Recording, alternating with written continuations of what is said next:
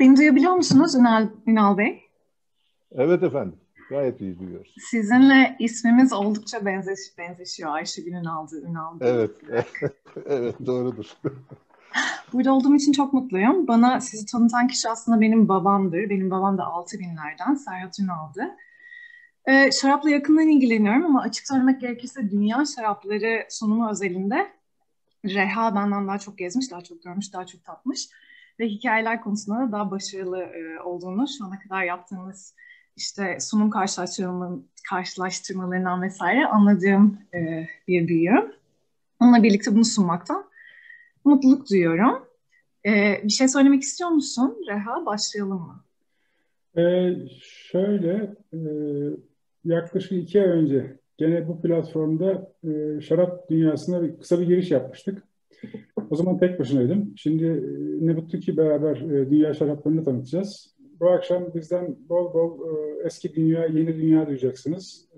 İşte bir saate sığdırma, sığdırmaya çalışacağız sunumumuzu. Bir saatin sonunda da bir şarap tadımımız var. Katılmak isteyenler için iki tane şarap belirleyip bunu yayınlamıştık. Bulabilenler bu şaraplarla katılmak isteyenler bulamayanlar da istedikleri bir şarapla katılabilirler tadımımıza tabii ki. Ben e, fazla uzatmadan lafı Ayşegül'e bırakıyorum. Tamam. Ben de hızlıca başlamak istiyorum. Şimdi e, dünya şaraplarına dünya şaraplarından bahsederken Rehan'ın da söylediği gibi ister istemez yeni dünya ve eski dünya olarak iki tane önemli konseptin üzerinden gideceğiz. Tam olarak da bu sebeptendir ki e, sizinle öncelikle antik dünyayı tanıştırmak istiyoruz. Üzerinde bulunduğumuz toprakların biraz da önemini e, vurgulamak için, sahip olduğumuz mirasın sorumluluğunu anlatabilmek, ifade edebilmek için. Şimdi bu haritada gördüğünüz gibi kırmızı alanlar yeni dünya ülkelerini temsil ediyor. Birazdan tekrar bahsedeceğiz. Yeni dünya ülkeleri kolonileşme dönemiyle birlikte asmanın ve üzümün gittiği ve e, bağcılığın ve şarap yapımının başladığı ülkeler. Eski dünyada aslında kısaca yani burada Afrika'nın bir kısmını da işaretlemiş ama onu yok sayabilirsiniz. Aslında kısaca Avrupa ülkeleri anlamına geliyor. Oysa ki antik dünya Anadolu topraklarının olduğu Gürcistan, Ermenistan, işte Levant, Mısır'ı e, kapsayan yeşille işaretlenmiş olan bölge. Şimdi size biraz ondan bahsedeyim. Şimdi şaraba dair ilk bulgular, e, yani önce şöyle söyleyeyim size. Şu anda şaraplık e, üzüm yetiştiriciliği, bağcılıkta yetiştirilen aşağı yukarı bütün asmalar ve oncalar Vitis vinifera adını verdiğimiz e, asma cinsi üzerinden gidiyor. Yani bu Chardonnay, öküz gözü, boğaz kere, işte Pinot Noir, Carmener e, vesaire yani asil üzümler, Türk üzümleri, işte Fürmint, Tokay, Asil Tokay falan gibi bütün farklı üzümler aslında aynı asmanın farklı mutasyonlarıdır. Yani onlar farklı cinsler değil, farklı çeşitlerdir aslında. Bu vitis vinifera dediğimiz asmanın da yani şu anda şaraplık üzüm yaptığımız, e, yetiştiriciliğini yaptığımız asmanın atası da vahşi versiyonunda Vitis silvestris'tir ve onun aslında ait olduğu yerde şu sol altta gördüğünüz haritada yeşillerle işaretlenmiş olan bölgedir. Yani Akdeniz ve Karadeniz kıyıları diyebiliriz. Ve e, evcilleştirilmemiş olan vahşi versiyonu Vitis silvestris. Bunun izini bugünlerde yani çok fazla araştırılan bir konu değil. Belli başlı insanlarda ve belli başlı yerlerde e, toplanmış bir konu. Patrick McGowan, Pennsylvania Üniversitesi'nde çalışan bir profesör ve bu konuda e, yoğun çalışmalar yapıyor. Bu konudaki ana kitap sayılan Ancient Wine kitabını da o yazdı. Burada da vahşi üzüm asması önünde e, resimlerini görebilirsiniz. Burası da nitekim zaten Dicle'nin kaynağına yakın bölgeler. Yani e, Güneydoğu Anadolu toprakları.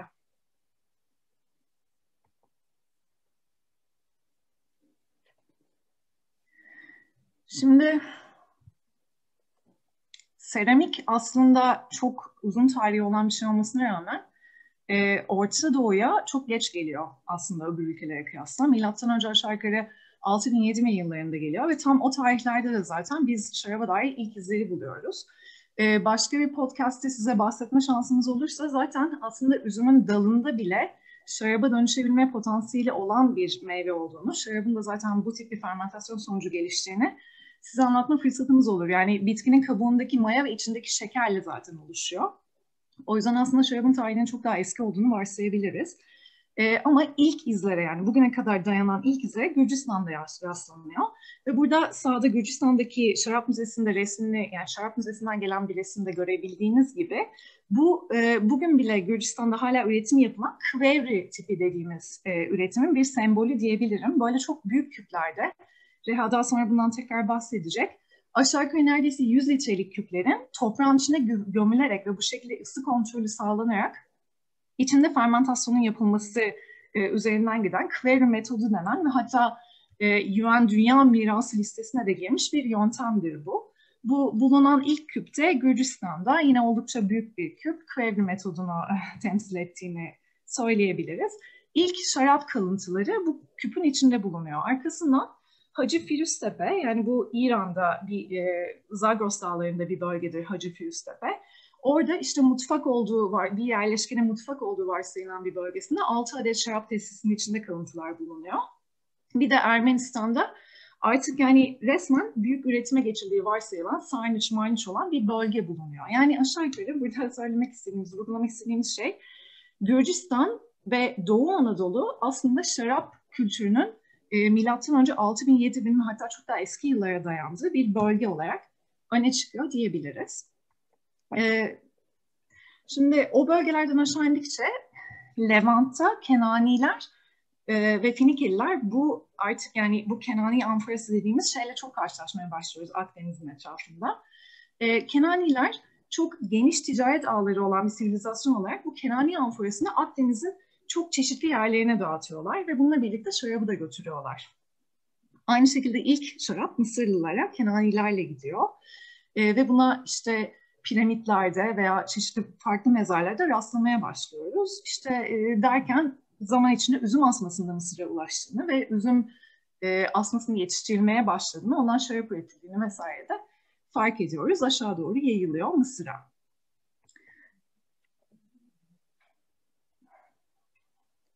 Hitit İmparatorluğu'nu bilmeyen yoktur zaten. Merkezi Ankara e, bölgesi olan bir imparatorluk. Boğazkale Hitit İmparatorluğu'nun başkenti sayılıyor. 1400 yıllar 1400'lü yıllarda Hitit İmparatorluğu'nun e, en parlak olduğu dönem olarak varsayılıyor ve Hititlilerden kalan bulgulara göre artık fark ediyoruz ki asma ve üzüm ve şarap sadece çok tüketilen kültüre entegre olmuş bir şey değil. Aynı zamanda yasayla korunuyor. Yani bağ keçi girmesi ya da bağların çeşitli tahribatları uğraması yasaya tabi vesaire bir şarap bakanları var. Ve hatta e, solda da anekdotları olan Profesör Doktor Erkanal bu Viyana kelimesinin Hititlerden geldiğini söylüyor. Bu sağdaki resimde de burası Boğaz Kale bu resimler. E, Kvevri tipi dediğimiz o eski, çok eski çağlardan beri kültürlerin şarap yaptığı büyük ve şarapları tuttuğu ve yıllandırdığı büyük küpleri görebilirsiniz.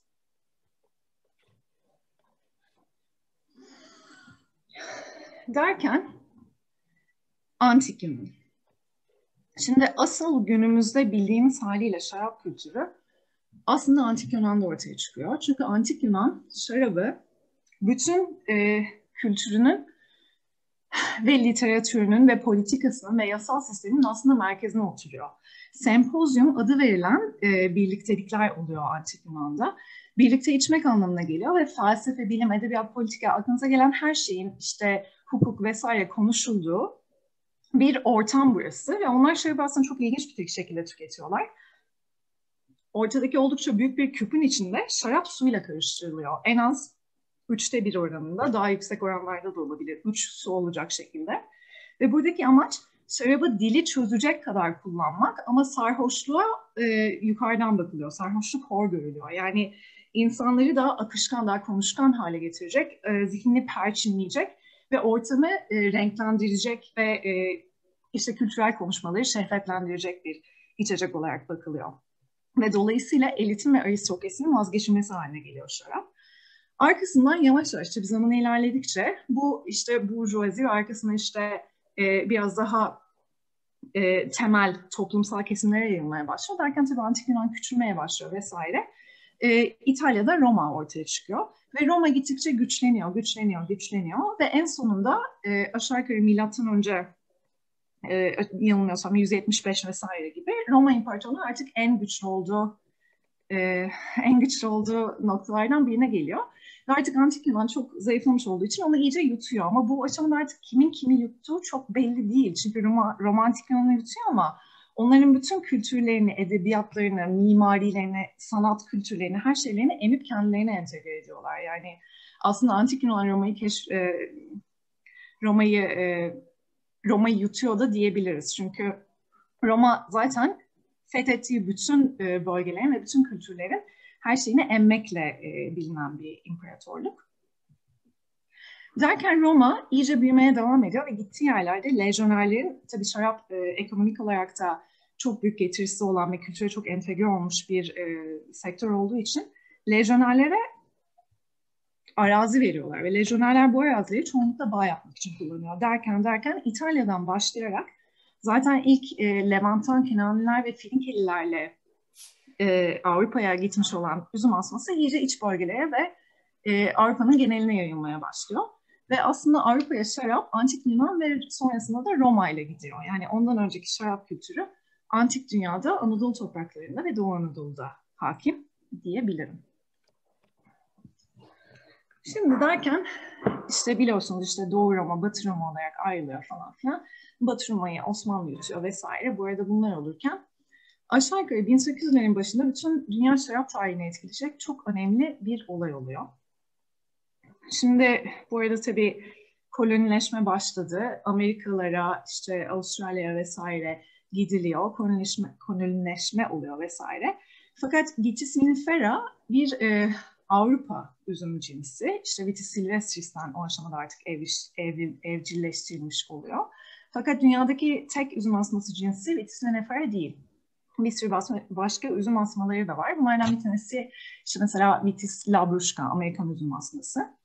Amerika'da da Vitis labrusca ile milyonlarca yıl boyunca evrim geçirme şansı bulmuş bir böcek var. Phloxera adını verdiğimiz. Bu böcek 1800'lerin başında öyle ya da böyle Avrupa'ya geliyor. İlk e, Güney Fransa'da ortaya çıkıyor, Provence yakınlarında. Ve 19. yüzyılın sonuna kadar e, bütün Avrupa'yı neredeyse sarmış oluyor ve bağcılığı neredeyse sonuna getirmiş oluyor. Yüzde seksen oranında bağların hepsi sökülüyor, yakılıyor. Çünkü bu böcek asmanın kökünü etkiliyor ve e, asmaları öldürüyor uzun lafın kısası. Ve bununla baş etme yöntemini bulamıyorlar. Yani zehir dökseler sonuçta e, gıda olarak tüketilen bir bitki halledemiyorlar. Bağların çok büyük bir kısmı sökülüyor ve yakılıyor bu dönemde. Bir tek Phloxera kumlu toprakta rahat ilerleyemiyor ve üreyemiyor. O yüzden Provence vesaire gibi bir takım select bölgeler bu böcekten daha az etkileniyor. Ama sonuç olarak öyle bir noktaya geliyor ki iş 19. yüzyılın sonunda Osmanlı Avrupa'ya 3 milyon litre şarap ihraç ediyor. Bu sayı bugün Türkiye'nin ihracatı 90 milyon litre. Çok ciddi bir şarap ihracatından bahsediyoruz. Ee, ve hatta Osmanlı Avrupa'daki şarap yarışmalarında ödüller kazanıyor vesaire. Yani gerçekten Osmanlı'nın parladığı bir alan oluyor. Ee, ve bu aslında Avrupa'nın ciddi anlamda işine yarıyor. Çünkü bütün şimdi siz yüzlerce yıldır şarap üretiyorsanız ve bağcılık yapıyorsanız ve bütün bunları baştan yapma şansına kavuşuyorsanız siz hangi bölgede neyin iyi yetiştiğini biliyorsunuz ve select ettiğiniz, seçtiğiniz klonları tekrar baştan uygun gördüğünüz bağcılık şeklinde ekme fırsatı buluyorsunuz. Ve aslında Phloxera bu anlamda e, Avrupa'daki apelasyon sisteminin de temelinin atılmasına yardımcı olan tarihsel olaylardan biri haline geliyor. Çünkü Avrupa'da e, atıyorum mesela bağlarda öncesinde bağlar daha karışık ve asmalar karışık, klonlar karışık olduğu için e, çok daha iyi bir bağcılık ve şarap yapımı sistemine aslında geçilmesine önayak olmuş oluyor. Tekrar e, Phloxera'dan toparlanırken Avrupa. Bunun yönteminde Amerikan köke vinifera aşılayarak yapılıyor ve şu, şu anda dünyada da %95 oranında bütün bağcılık bu şekilde yapılmaktadır hala. Çünkü ile baş etmenin tek yöntemi bu. Herkes Amerikan köke vinifera asmasını aşılayarak bağcılık yapıyor bugün. Bir takım e, bölgeler hariç tabii ki. Ee, Osmanlı'dan kısaca bahsedeyim. Ee, şarap yapımı ve bağcılık azınlıkların elinde, Müslüman mahallelerde yasak. Ee, defalarca alkol yasakları geliyor ama tabii ki sonuçta devlet bunu vergiye tabi tutmak istiyor ve e, sonunda yasakları kaldırıyor ve yasaklar kaldırınca her, her şey tekrar normale dönüyor. Ama çoğunlukla azınlıkların e, üretiminde ve elinde oluyor şarap ve bağcılık. Bu neden önemli? Mübadele yüzünden. Mübadelede e, insanlar tekrar e, yer değiştirdiği zaman yani azınlıklar yurt dışına gidip Türk e, Müslümanlar yerleştiği zaman onlar asma ve bağcılık ve şarap yapımından anlamıyorlar. Dolayısıyla bağlar sökülüyor yerine tütün ekiliyor ve dolayısıyla aslında oldukça eski tarihi olan e, bağcılık ve şarap üretimi Anadolu'da çok ciddi bir sekteye uğruyor. Ve Türkiye Cumhuriyeti'nin ortaya çıkışıyla tekrar ayağa kalkmak durumunda kalıyor. E, ilk üreticilerden işte Kavaklıdere, Doluca, sevilen e, ortaya çıkıyor, tekel ortaya çıkıyor ve Kavaklıdere aslında ilk özel sektör şarap üreticisi olarak 1929'da başlıyor ve şu anda 90 yaşında olan, 91 yaşında olan Kavaklıdere e, günümüzde Türkiye'de nesillerden biri hatta en eskisi haline geliyor.